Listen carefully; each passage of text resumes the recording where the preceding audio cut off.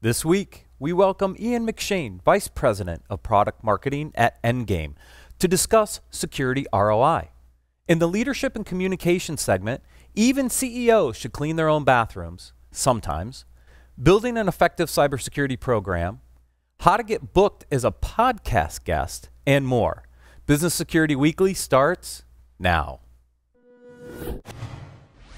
This is Security Weekly for security professionals by security professionals. Broadcasting live from G Unit Studios in Rhode Island, it's the show where we explore the business of security to improve the security of business. Your trusted source for actionable insights on leadership, communication, and innovation. Get ready for Business Security Weekly. The question is simple Have any of the systems on my network been compromised? The answer is harder than it should be. Enter AI Hunter. Active Countermeasures has automated and streamlined techniques used by the best pen testers and threat hunters in the industry to create AI Hunter, a network threat hunting solution that does the first pass of a hunt for you to identify systems that are most likely to be compromised and scores the results on a scale from 0 to 100. You can then research those systems in depth with AI Hunter. Focus your valuable time on the systems that need your expertise with AI Hunter. Sign up for a personal demo today at securityweekly.com forward slash ACM. Effectively securing your organization and its reputation requires a smarter approach. To maximize efficiency and minimize risk, security experts turn to LogRhythm, the only leading solution built solely for security teams by a security team committed to your success. With next-gen SIEM, user and entity behavior analytics, network traffic and behavior analysis, security automation and orchestration, and compliance, LogRhythm provides security made smarter. How do you use the information from this show to address issues that executives actually care about? TrustedSec is a global information security consulting firm built on cutting edge attack simulation research that extends those insights to advisory services, including governance, risk, and compliance, PCI, virtual CISO, and MITRE ATT&CK framework assessments. TrustedSec helps you translate the types of zeros and ones that you care about to the types of zeros and ones that executives care about. Go to trustedsec.com forward slash security weekly Learn how TrustedSec can become an extension of your team.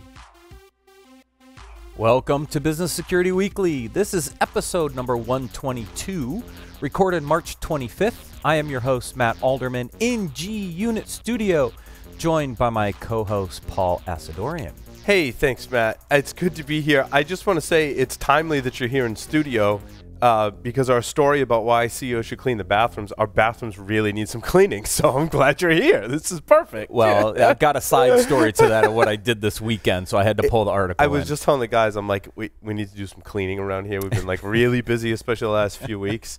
Uh, and it's just funny you added that uh, story. And we have cigars, which I want to say uh, we're enjoying our Cuban sandwiches.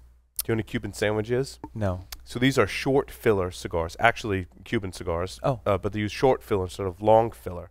Now, many people think it's like the tobacco that falls on the floor. It's really not. It's just the leftover scraps are chopped up, and that's what they use and for they filler, use it in here. Oh. rather than the full, longer pieces of the leaf. So there's more air in between the little pieces of tobacco, so they'll burn a little hotter, so smoke slower. Slower. I it. find though these are like uh, people say Cuban cigars are really expensive and blah blah blah. These are like a, a buck, a buck and change a piece, and they they taste like a Cuban cigar. So they fit in the budget. They fit in the at a- budget. At a, buck of sticks. Uh, yeah, I, I tell you, and I tell you what, for a Cuban cigar, you get that experience for uh, not a high price tag, which is pretty cool. So And there's a little bit about your My cigar Your for the day. Awesome. Jose L. Piedra uh, is the brand. They make mostly uh, short filler or Cuban sandwich cigars. Awesome. It's breakfast. Yes. Because brunch. It's brunch. It's brunch. It's brunch. Yeah. I was on the red eye, so Yeah, I, am it's I'm not sure what yeah. meal it is for me right now. Register for our upcoming webcast with Recorded Future by going to securityweekly.com forward slash webcasts. If you have missed any of our previously recorded webcasts, you can find them at securityweekly.com forward slash on demand. Also, join your CISO peers at the Global Cyber Innovation Summit May 1st and 2nd at the Sagamore Pendry in Baltimore, Maryland. This is an invitation only event, so please visit globalcybersummit.org forward slash request dash information to request your invitation to attend the event. All right, let's get on to our guest interview. Ian McShane is the Vice President of Product Marketing at Endgame. Ian has nearly two decades of experience in operational IT, security, and risk planning for enterprises, service providers, and software vendors. Previously, Ian was a Gartner analyst, lead analyst for endpoint protection and EDR, and led, uh, authored the Gartner Magic Quadrant for endpoint protection platforms. During his tenure, Ian specialized in research focused on assessing the impact of emerging technologies for security operations, breach detection, and incident response. Ian, welcome to Business Security Weekly. Gentlemen, thanks for having me. I, I, I just love the accent, Ian. So you know we can. I just want you to talk, so we're all we're all good. Um, because I, I just perfect. I can do my best Dick Van Dyke impression for you. Yeah, okay, good. Good. so we're going to talk security ROI, and this is uh, a topic around how to align goals, resources, and budget. And I think this is a, a common theme for um, security leaders, CISOs, on how do we how do we build a program? How do we uh, staff it appropriately? How do we align budget? Uh, so that's what we're going to talk about today. So can you frame let's frame the problem a little bit first ian on you know what what do you see from some of your clients on some of these challenges when it comes to justifying security spend? Yeah the, the big issue is that every kind of budget is under stress right? And that's not just fiscal budget that's the human resource budget too. And, and ultimately every organization whether it's small or large they have the same security aspirations.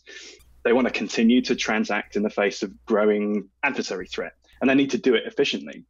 But the problem is when they start to try and figure out what do we spend now? How do we improve that spending?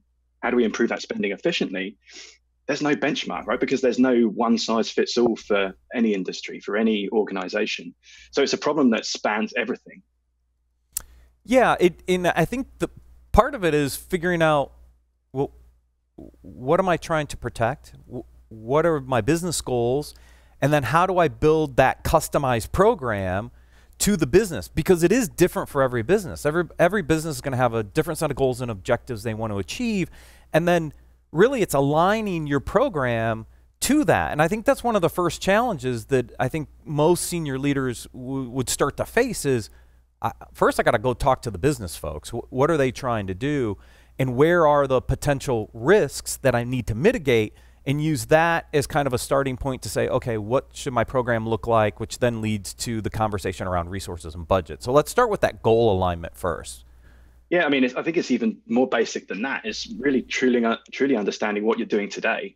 And I think that's one of the hardest things any organization can try and figure out is what are we doing today? What threats are we mitigating? And is that still appropriate today? Because I, in the past, you know, two or three years, I spoke to thousands of organizations and many of them were still adhering to policies that had been built piecemeal by piecemeal over a decade, maybe 15 years. And the threat landscape has, has changed has changed drastically. Right. So in the old policy world, I remember this in my consulting days, you'd walk into an organization and they'd hand you the policy doc and you'd look at it and it was like just pages and pages and pages of policy. And I used to tell my consulting clients, I'd look at it and go, but can you do all this? And they're like, well, no. And I said, so, so you know what's going to happen? The auditor is going to come in. He's going to look for, you know, how do you meet all these policy requirements, which you can't do. So why don't you back up and streamline your policy down to the things that you can do, and then over time think about enhancing it and, and, and growing it when it's appropriate. Um, so that was always yeah. the first step I did. I, I'd almost like to back up along those lines. Um, so Adrian Sanabria and I are giving a, a, talk at InfoSec World sort of along these lines. And one of the things, I actually pulled up the slide deck, so there's some talking points because I think it's it, this is an important topic to talk about. And having policies and procedures is one thing. What I often find, in when I speak with organizations is that even before that, they're unable to articulate the problem or problems that they're trying to address. Well, yeah. and, and, and, you know, like often they'll be like, well, I need endpoint security. And it's like, well, hold on, back up. Even before your policies and procedures, can we talk about like what exact problem you're trying to solve in your environment? And oftentimes that becomes the topic of the call because they're like, I can't articulate the problem I'm trying to solve. I just think I need endpoint security. I'm like, well, let's back up and then we'll make that decision, you know, once we define the problem, right? Yeah, the, I mean the big thing as well is is understanding what, as an organization, what you absolutely have to do, right? Yep. What are the compliance regulations that you mm-hmm. literally have to do to be able to continue doing your business? Yep. Yeah, absolutely. And it's that alignment, that first set of alignment to say, mm-hmm. all right, I'm I'm bound by these regulations, therefore I have kind of a framework of what I need to do.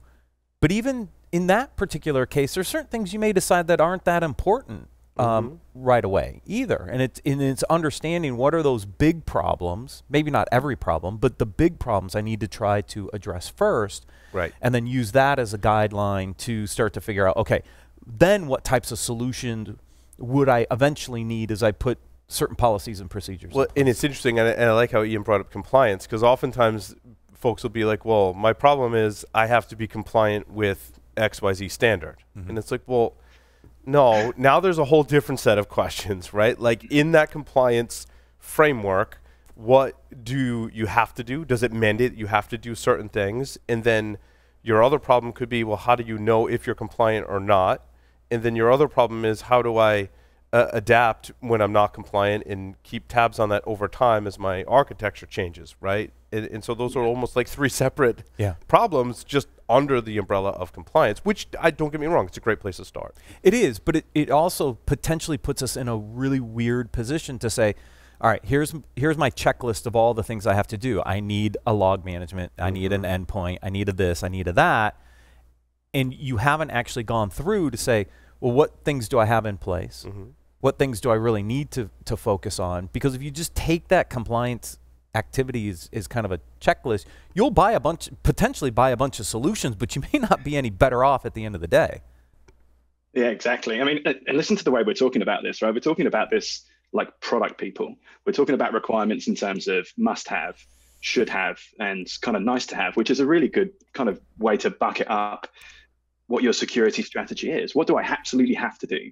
And then what should I do that goes beyond that? Because we all know compliance isn't there for the, the safety of humanity, right? It's mm-hmm. there to cover everyone's backside. So what do you have to do? What should you do? And then as a as a person, as a professional, what do you actually want to do? What do you want to achieve? Yeah. And so, do you build an MVP then for your security program?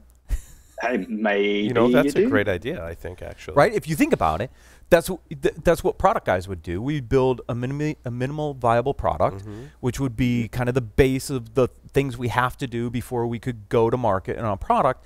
You can almost think about your security program in a similar light. I have limited resources, which I do. I have limited budget, which I probably do. Therefore, I have to come up with that MVP of my initial security program based on priorities to say, this is what it looks like. And then over time, as you get more budget, more resources, you can do more things and continue to expand it, just like we would when we built a product. Yeah, you're building a security roadmap, right? You're saying here's here's what I absolutely have to deliver in my MVP, and here's going to be the incremental updates, the incremental improvements I make as I go along. And then you take in additional data to understand what changes do I need to, to steer in the right direction, given that the, the threat landscape that's unique to my organization is changing. Right. And it would also help you start to identify that resource kind of gap, the, the budget gap, and, and start to help put a plan together that you can share with the executives and the board on these are the, okay, here's where we are these are the risks we also have to address and mitigate. But here's the resources I'm going to need to continue to do that. That would be a really good way to have that initial conversation, I think, with the business and the executive side to really start to figure out what that future funding, of both resources and dollars, then eventually look like. Yeah, you can you can start to think about the metrics that are important to to you as a uh, information security leader, and then your board or the budget approver, CEO, whoever can start to make decisions based on the metrics that are important to them, right? And in most of the conversations I have, that tends to boil down into four things. So the time to detect something bad happened, the time to contain that bad thing from happening um, anywhere else, the time to respond to it. So not necessarily fix it, but respond and do something. And then the time to remediate. So actually fixing the root cause of the problem. And obviously, there are different things you can do at different phases of that to mitigate the impacts further down the chain. And making, I think, solid decisions on, on every investment or policy change reflecting one of those metrics is a way to, again, have the ability to be flexible and steer that strategy in the right direction. Yeah. So does that mean you really kind of start uh, back to our MVP discussion? Is it then really a detection initial capability that that you kind of focus on first? Because without detection, mm-hmm. containment and response and, and eventual mitigation recovery just can't happen. Yeah, I think I think so. Right, but let's let's assume for a second that everyone has some kind of prevention capability, right? I think I don't think there's any great, well, there's very much greenfield, especially in endpoint security now that you know the OS vendors are starting to bundle some uh, prevention in there. It's figuring out how you get to that next phase. Is the detection piece. You're quite right. Yeah, I think that's a that's an area a I lot mean, of people thing, starting to focus. Sorry, the other thing to think of is that I find it funny that every organization has a detection capability already. It just tends to be humans as opposed to something mm. software based. But I like that as an overarching policy, Ian. You know, setting up um, our minimum detection time for an event, and you may even classify it as an event of this type in this area or involves this data, right? Provided the organization has that, so some of those mappings anyway um, mm-hmm. and, and, putting forth that as a requirement so that when you go look to implement a solution, whether it's something you already have, whether it's people in the operating system logs that you're working with, because if you have people and you have operating systems, you have logs that you can go look at, right? right? Without any other tools, you have logs. Um, how do you get those detection times to your acceptable amount within the first day?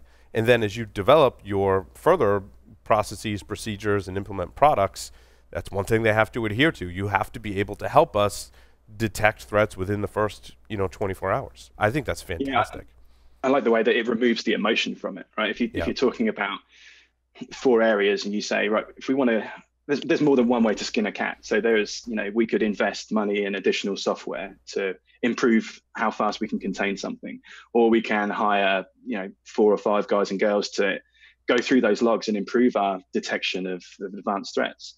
But it removes the the emotion of, hey, we've definitely got this renewal coming up, so we need to renew that, and that's going to come out of budget X, Y, and Z. And you start to really look at it from an inside out perspective, right? What does our organization need from the tools and the services and the people that we have versus what can our organization get from the tools and the people and the processes that we have. Right.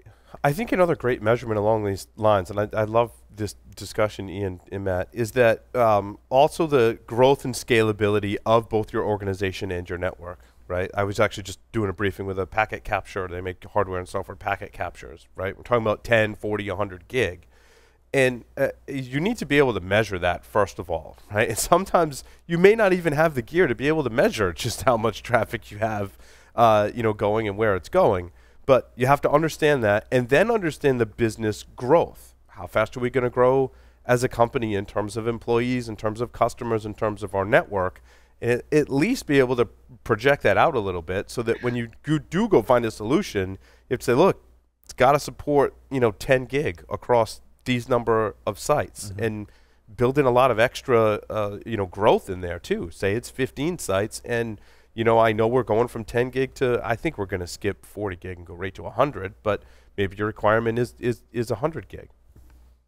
Yeah, and that's a, you know that's aligning. Well, that's all about aligning the security program with the business goals, right? Mm. If your business goal is to scale, you know, two x or three x, realistically, is is your security budget going to track that linearly and get you know double or treble over time? Of course, it's not. But you need to be able to explain here's the is the downfall of not investing alongside the, the company growth or the projection growth. Yeah. Yeah.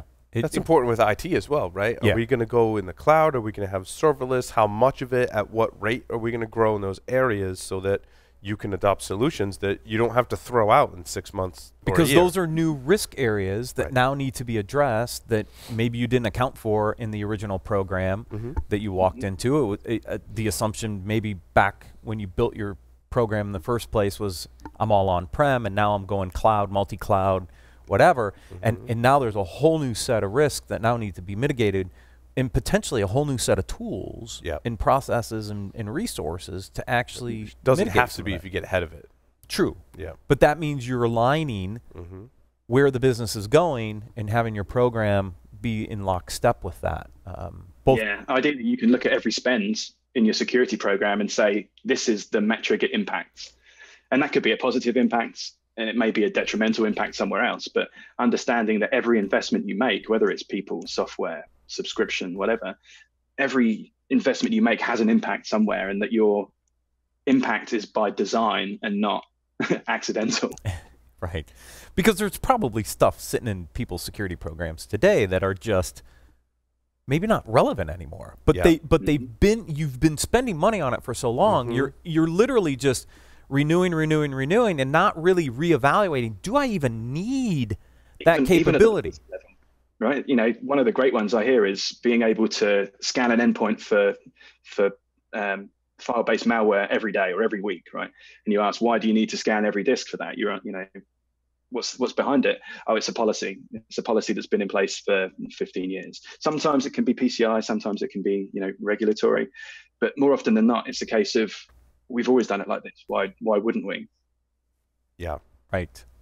Like scanning my network quarterly or Yeah, in monthly VM world, or right. in the VM world, Yeah. right? I mean, people had programs that but in, you know, threats are coming on and off the network all the time. Mm-hmm. If you're only scanning quarterly, you're not going to pick up half of that stuff, right? And and that's a decision you have to adjust to the resources and the budget that you have if you're going to increase that frequency, for example.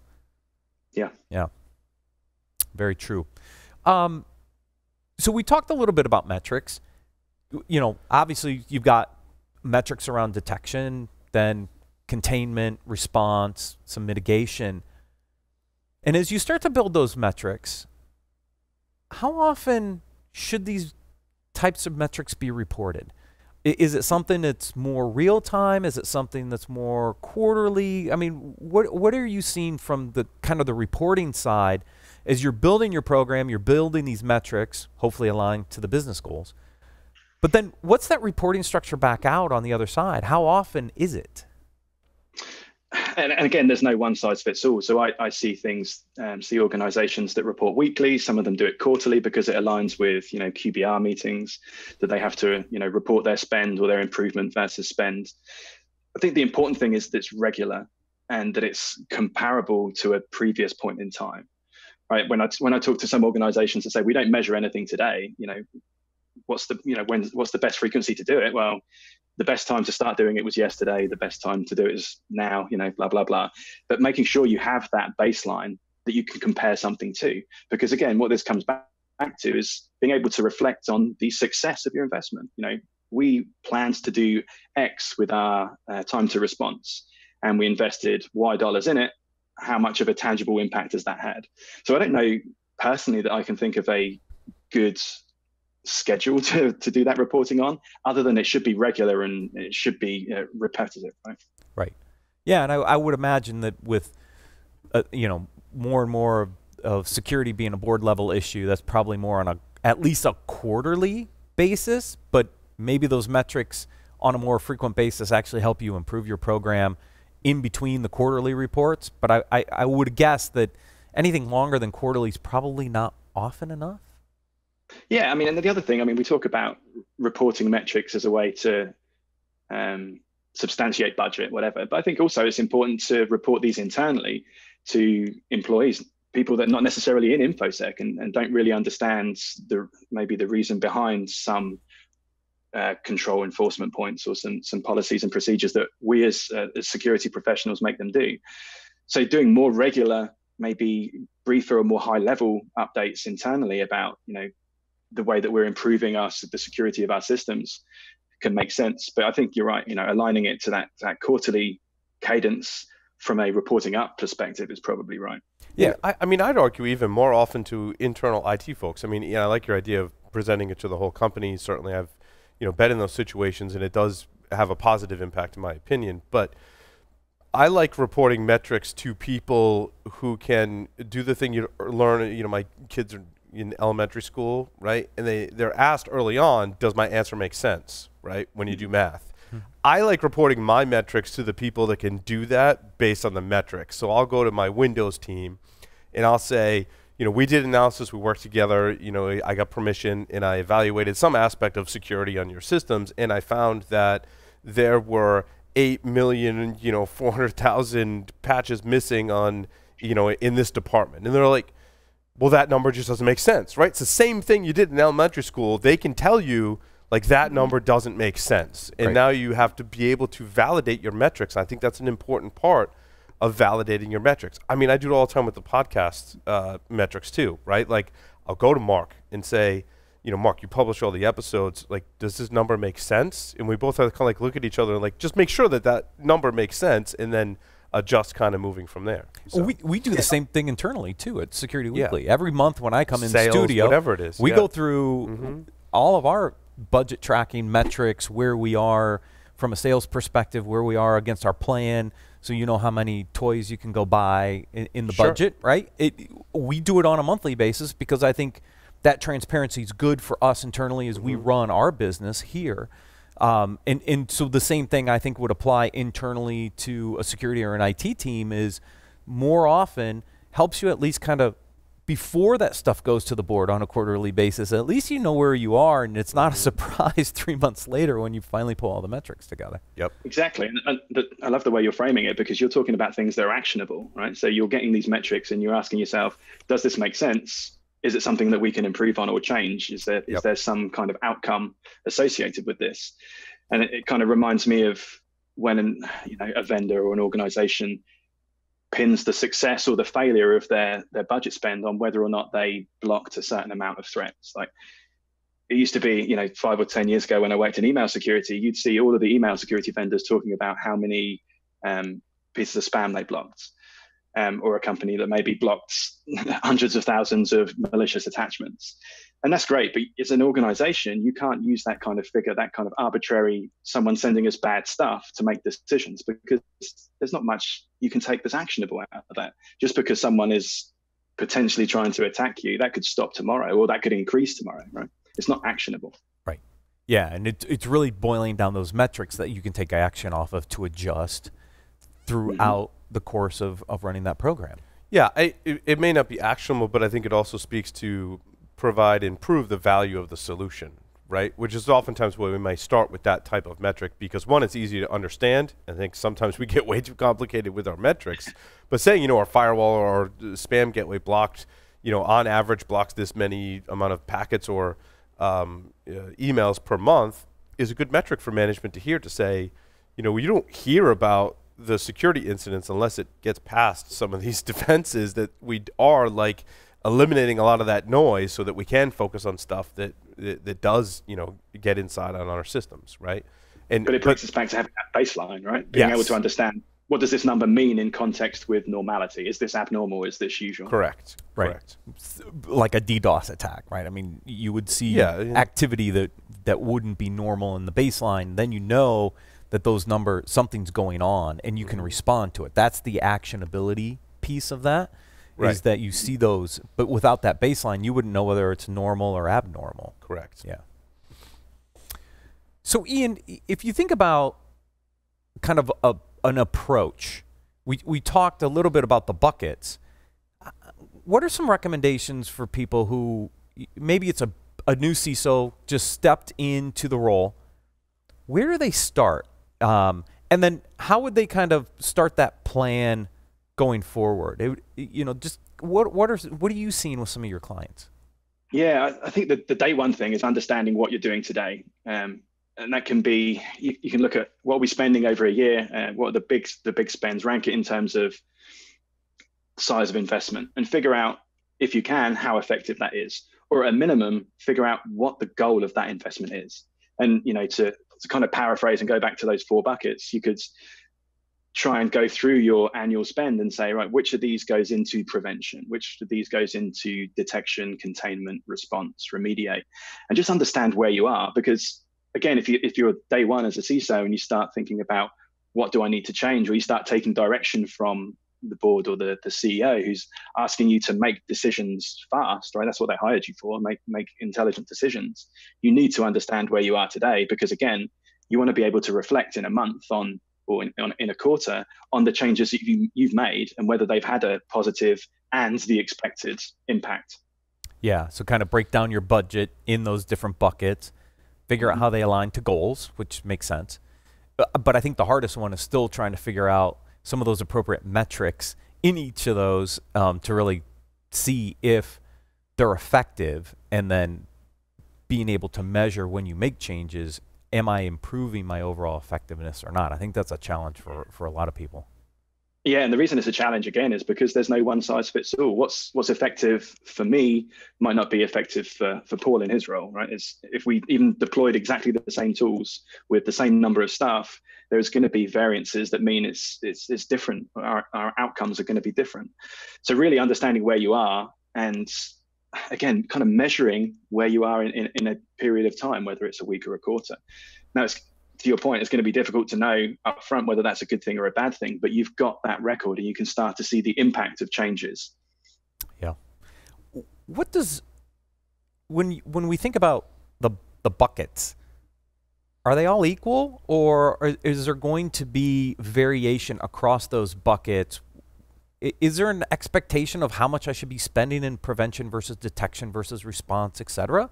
Or is it just going to be based on uh, uh, your situation, your goals, objectives, etc. You, you might be heavier in certain areas than others, and that's just the way it is.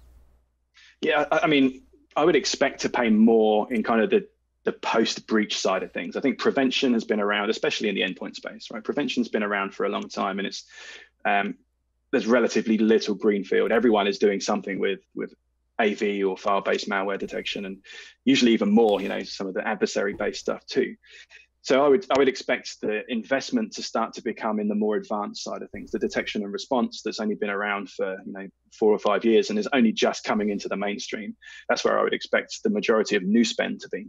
Yeah, so you see that shifting away from heavy in prevention, start to move more into detection, but then it's all on the back end, right? I mean, the resources needed to respond and, and remediate is where the majority of your costs eventually will will come. Yeah, I mean, I, I think a lot of vendors and you know uh, audacious plug here, you know, vendors like Endgame are really focusing on how you get those advanced capabilities into the mainstream, so you don't have to have such a heavy spend on on people or experience to get those more advanced capabilities. Right. Yeah, and I think that's where the tooling helps and automation of certain processes and other things, and that's where you're gonna understanding what you have, and you know, not just products that you have, but the the skill set of your team. I think that's that's just as important. Yeah, that really drives your, your program. I'm glad you know we mentioned that I think a, a couple of times in this discussion is that you may be heavier in one area or have a different strategy based on your business goals and based on the resources, people, and technology that you have on hand, right? If uh, your user population is more Mac or Linux rather than Windows, you're going to have a different strategy, right? Same thing on your, your server side. And you know, if you've got a great network security team, right, you might be a little more heavy on the, the packet capture network uh, end of things than, than if not. So, I mean, it depends on your architecture and your people. And also with your people, I think like what they're good at and what they're passionate about also, you know, drives a lot of your program too. Yeah, I mean, what the skills they're going to be comfortable with, right? right? The skill set you have or the skill set you don't have yet, right? As you right. make those shifts, because that's where, you know, there's certain tasks you might be able to automate. Now you, you want those skill that skill set to to kind of ramp up and do the yeah. more advanced stuff. I think that's the you hardest. may have it, or you may have to go hire it. It's the hardest thing I, I think, you know, as you talk to different enterprises, right? And you make a recommendation, you're like, well, a lot of people are having great success with XYZ product or strategy. And a lot of people say, yeah, yeah, I can see that. And then there's always like that the edge case where they're like, yeah, we tried that, it was terrible like it just didn't work for them, right? And it truly is, you know, people, you know, talk about RSA, how there's all these vendors. Uh, we've been, you know, recommending vendors for, for 14 years, and there's no like one solution that works for a hundred percent of the people out there. Like right. there, there just isn't. There are always going to be varying degrees of of success, and a lot of that I think depends on your business, your goals, uh, your architecture and infrastructure, and the people yeah. and your culture too. Yeah, definitely. So, Ian, my last question, unless Paul had, is security ROI possible? I think that's the magic question, and I think if I had the answer to that, I would probably be spinning up my own business to calculate that algorithm, so it would be easy to figure it out. Uh, again, just like Paul said, right? It, it, the ROI isn't just the return on investment for your spend, it's the return on the investment for your people, return on investment to the amount of time you spend formulating a strategy. So if I had to be binary, I would say no. Yeah, I mean, I think that's the, I think that's what most people would expect. You know, is that ROI for security is really difficult, um, especially you know as as the the landscape shifts and and figuring out what the new uh, threat vectors are and what new products and people I need and figuring the right metrics and being able to measure it and baseline it. It's hard, and so I think it's really hard to justify that kind of return on investment. I actually think it's easier in the application sense, application security, because so many of the security processes and tools that we're talking about uh, largely are aimed at making a developer's life easier and more efficient, right? So they're catching bugs earlier in the process, which is much easier to fix than later in the process, is a very basic example. But a lot of the technology and processes like DevOps and Agile, like that's a win for security. But also, if you're going down this path, you're producing, I believe, much better quality code at a much faster rate. Now, you can also introduce security vulnerabilities more quickly, but Correct. it's a balancing Yeah. act, right? You're struggling to, to fix those as equally as, as fast. And I think at the end, your return on investment is we're producing better code more quickly. I would I would like to see that return on investment discussion being more about people, right? Rather Mhm. than talking about from a business sense, if I spend X on vendor Y, what's my total cost of ownership or return on investment? But how how often would it be more beneficial for you to spend money on your team's knowledge and experience? Mm-hmm. whether it's you know SANS courses, whether it's you know whatever, uh, whatever kind of investment or education you want to invest, and that could even be hiring people with more experience so that they impart their knowledge on the, the rest of your team as well. Yep. Yeah. Agree. True. That's all I had. That's all I had. Okay, perfect. Ian, thank you for joining us on Business Security Weekly. If anybody wants to learn more about Endgame, please visit securityweekly.com forward slash endgame. We'll take a quick break and then cover the leadership and communications articles for this week.